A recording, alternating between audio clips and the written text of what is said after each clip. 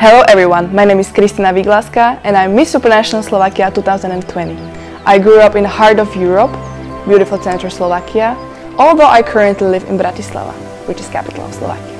I've traveled to a lot of places, but I love that feeling to coming back home to land of castles, caves and flying cars. Since kindergarten, I love sport, especially light athletic. I went on specialized program at school where I started doing heptathlon before suffering knee injury which put the end of my professional sport career. After that, I started to pursue modeling more actively.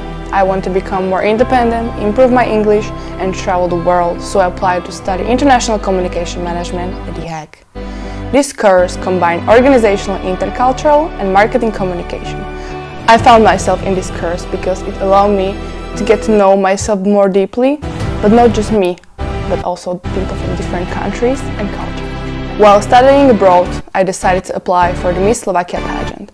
During that time, I was struggling with self-esteem and I am proud of having developed a sense of self-love during the journey. Self-love is very important. That's why my project is focusing on that. I'm very thankful that I got this huge opportunity to work on becoming a better version of myself.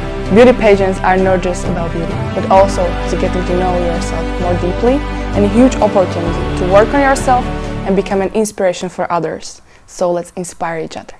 See you in Poland!